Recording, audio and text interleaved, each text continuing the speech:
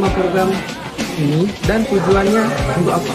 Oke, nama programnya itu kan Reading Holiday. Uh, tujuan programnya ini kan tentu sangat bagus sekali karena kenapa? Uh, untuk memberikan kegiatan yang positif untuk siswa ketika mereka sedang uh, liburan. Uh, karena kan selama ini kan uh, kalau liburan mereka selalu gunakan itu untuk benar-benar liburan. Jadi dengan adanya program ini, anak-anak itu memang diminta untuk mengisi dengan kegiatan membaca buku. Uh, satu lagi yang menarik adalah sepertinya anak-anak kita itu sudah lama tidak membaca buku.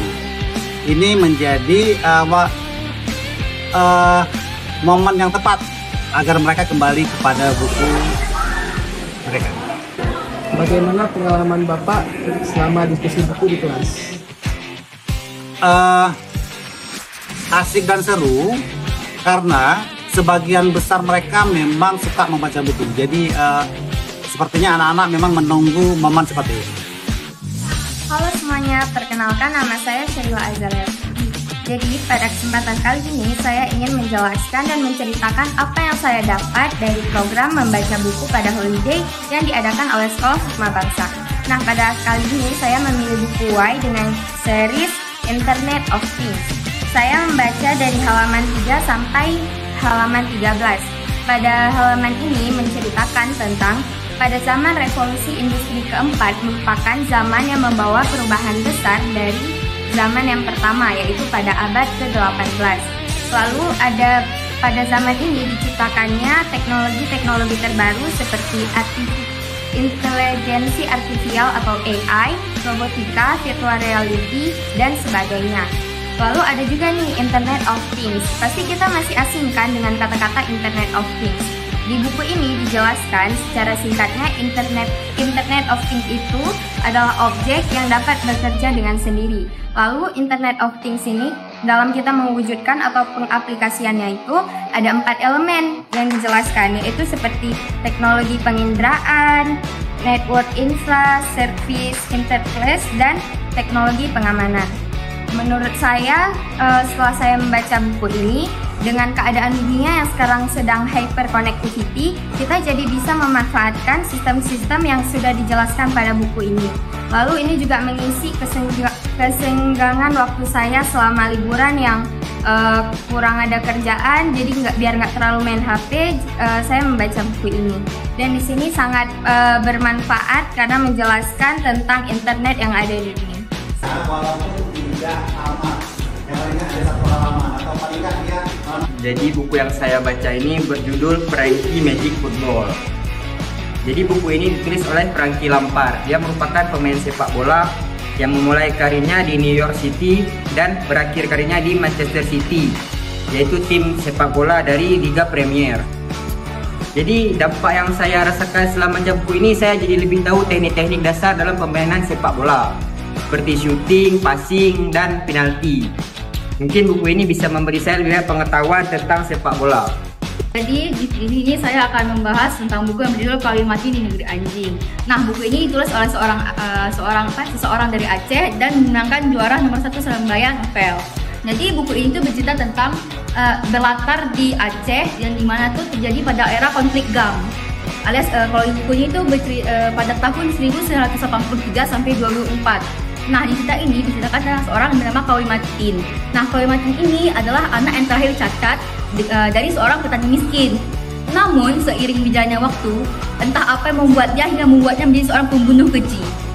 Jadi dampak dari saya yang baca buku ini tuh pertama kali tuh uh, apa ya bingung dan sedih karena bagaimana bisa seorang anak ca anak cacat yang seharusnya hidup dengan penuh apa ya lingkungan yang terus membantu dia malah membuat hidupnya semakin hancur-hancur membuat dia seorang seorang pembunuh yang meratakan semuanya termasuk warga desanya sendiri. Jadi apa ya, bekas luka batin yang dirasakan oleh Kawi Matin itu sukses membuat saya merasa sedih dan merasa bingung dan hancur. Saya merasa kayak jadi apa mungkin selama hidup saya yang selama ini saya jalanin itu tuh sangat baik sehingga bisa apa ya hingga buat saya sangat terluka untuk hal-hal seperti ini. Oke, sekian dari saya. Oke, jadi buku yang saya baca adalah buku berjudul Esensialisme karya dari Greg. Jadi yang saya baca itu ada dari halaman 269 hingga halaman 272. Nah, di halaman ini menceritakan tentang seorang atlet renang bernama Pep yang memiliki kegiatan rutin. Jadi dia sebelum mengikuti lomba dia punya rutin-rutin dulu, misal kayak dan ini tuh betul-betul ngena bagi saya karena kerja keras itu nggak harus sebanding juga dengan konsisten. Jadi misal kita sebelum mengikuti pertandingan kita harus punya latihan yang konsisten dari jauh-jauh hari. Seperti yang dilakukan oleh Phelps, dia selalu misal sebelum tidur itu selalu memvisualisasikan diri dia mengikuti lomba. Dan juga setelah bangun tidur dia melakukan hal yang sama dan dia juga rutin melakukan latihan. Nah rutin ini tuh dia selalu disiplin ngelakuinnya, dia nggak pernah kayak ah hari ini aku malas lah dia nggak pernah dia selalu rutin dan akhirnya itu membuahkan hasil yang bagus. Assalamualaikum warahmatullahi wabarakatuh. Jadi salah salah satu buku yang saya baca yaitu berjudul The World Conqueror 4 jadi karena buku ini sudah lama saya baca jadi saya akan ceritakan yang saya ingat buku yang saya baca itu di antara halaman 40 hingga 50 di halaman ini saya membaca tentang jenderal-jenderal di dunia pada Perang Dunia Kedua. Salah satu jenderal yang saya baca yaitu tentang tokoh Nazi Jerman yaitu Rommel dan Guderian. Jadi saya akan ceritain tentang Jenderal Rommel. Jenderal Rommel adalah seorang jenderal yang ditugaskan di Afrika untuk menginvasi menginvasi ya, menginvasi uh, negara Amerika. Jadi beliau di, disegani oleh negara aliansi karena taktik perang dan strategi beliau. Dan ada pula Jenderal Guderian. Jenderal Guderian adalah salah satu jenderal yang ada pada operasi Barbadosa. Ba operasi Barbadosa ini adalah operasi menginvasi negara Uni Soviet. Walaupun operasi ini gagal, tapi beliau merupakan salah satu jenderal yang paling disegani oleh pasukan merah. Jadi kesimpulannya walaupun Nazi Jerman kalah pada Perang Dunia Kedua, Nazi Jerman tetap memiliki banyak jenderal yang disegani dan terkenal seperti Whitman, Rommel, Guderian, dan lain-lain. Bagaimana pengalaman Ibu selama proses diskusi buku di kelas? selama proses diskusi di kelas uh, rasanya seru, unik juga sebenarnya karena uh, ternyata setelah kita cross ke dalam kelas banyak hal-hal yang uh, kadang-kadang tidak terprediksi buku yang dibaca sama anak itu beragam dari mulai tadi ada yang baca novel, ada yang baca komik, ada yang baca buku uh, motivasi, bahkan buku tentang perang dunia seperti yang barusan disampaikan oleh Puncer. Itu rasanya uh, luar biasa ya. Maksudnya uh, setiap anak itu mempunyai minat dan uh, dan uh, pikirannya masing-masing. Jadi saya mendapatkan pengalaman yang berbeda-beda di sini tentunya. Uh, bahkan kadang-kadang uh, yang di luar juga Jadi sangat seru, uh, mudah-mudahan program yang ini terus berjalan, bisa terus diterapkan. Uh, bukan hanya sekarang namun uh, untuk seterusnya. Karena uh, jujur saja literasi sangat penting. Karena tadi di awal uh, sempat juga ketika diminta anak-anak untuk membuat resume terkait uh, kegiatan hari ini mereka ada yang uh, tidak mengerti. Namun ada juga yang harus diulang-ulang kembali. Jadi rasa penting untuk uh, berlanjut. Judul buku yang saya baca adalah Maisy Hite Hitehins. Seorang bintang panggung bernama Sarah Messi. Dan judul ceritanya tentang dia kehilangan kalung pemberian tunangannya. Tidak boleh ceroboh, uh, terus mau bertanggung jawab dan bisa menyelesaikan masalah masalah masalah kita sendiri. Uh, mereka terlihat sangat antusias ya. Buku-buku uh, yang mereka pilih juga sesuai dengan minat mereka masing-masing. Jadi uh, sebagian besar anak benar membaca ketika liburan dan mereka tahu yang harus mereka sharing itu apa. Jadi ya semuanya lancar dan efektif. Alhamdulillah berjalan dengan baik. Assalamualaikum warahmatullahi wabarakatuh. Nama saya Haikal Faridi, bisa dipanggil Haikal. Saya berasal dari kelas 8 Al Sadar dengan wali kelas Bu Nur Fitria. Buku yang saya baca selama libur ialah buku yang ditulis oleh seorang bernama Zulkifli yang berjudul Pesona Kota Yogyakarta. Isi buku tersebut menjelaskan tentang berbagai hal tentang Yogyakarta. Salah satunya ialah kebiasaannya, upacara adat, makanannya, dan lain-lainnya. Hasil yang bisa saya dapatkan setelah baca buku ini, saya bisa mengenal dengan lebih jelas daerah tersebut dan lebih mencintai bangsa. Segitu saja dari saya. Assalamualaikum warahmatullahi wabarakatuh. Assalamualaikum warahmatullahi wabarakatuh.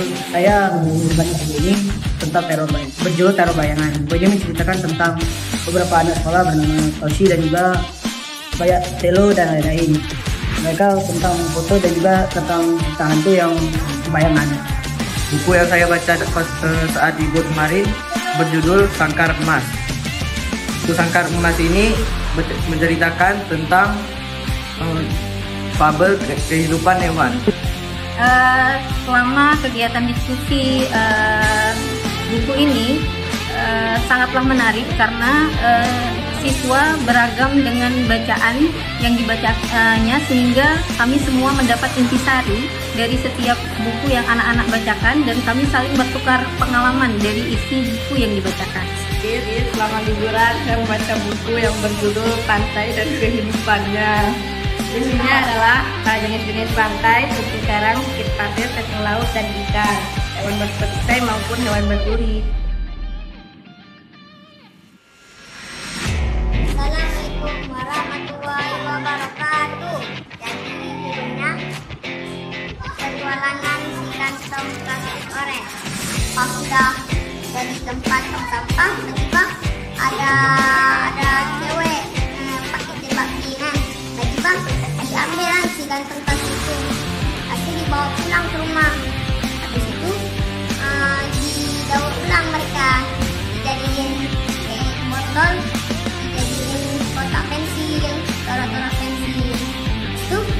udah senang.